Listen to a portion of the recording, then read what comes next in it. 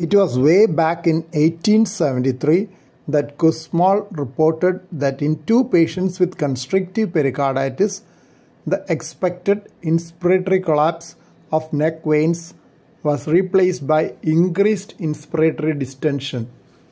Since then, it has become widely accepted as a sign of constrictive pericarditis, Kussmaul's sign. But it is not specific for constrictive pericarditis and can occur in other conditions like congestive heart failure, restrictive cardiomyopathy, right ventricular infarction, and acute cor pulmonale. But it is not a feature of pericardial tamponade and is useful in distinguishing tamponade from pericardial constriction. Explanation for the Kussmaul sign in chronic constrictive pericarditis may be as follows. The heart is encased in an almost inelastic casing in constrictive pericarditis. In systole and early diastole, negative intrapleural pressure may be transmitted to the heart as it is empty. But the heart fills near to its full capacity in early diastole as evidenced by the dip and plateau pattern of ventricular pressure tracing in constrictive pericarditis. Once filled, it is not possible to distend it further in response to negative intrapleural pressure in inspiration. This can explain the lack of inspiratory decrease in jugular venous pressure in constrictive pericarditis, but not the inspiratory increase.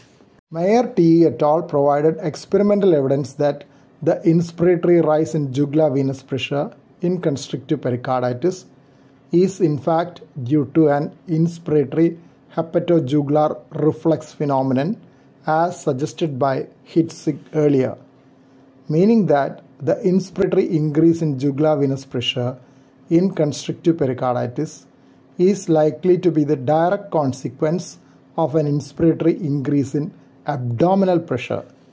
This increase is transmitted through an already distended venous system to a heart that is unable to distend further beyond early diastole. Meyers et al. had studied abdominal pressures in relation to venous pressures.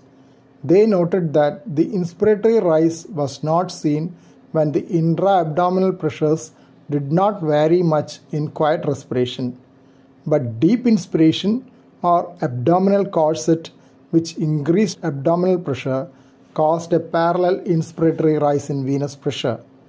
They also noted rise in right atrial pressure with an abdominal corset and a parallel fall in right atrial pressure with fall of abdominal pressure after draining of tense ascites.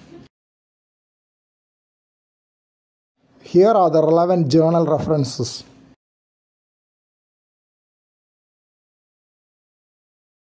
Thank you for watching this video. Please subscribe, like, share and post your valuable comment below this video.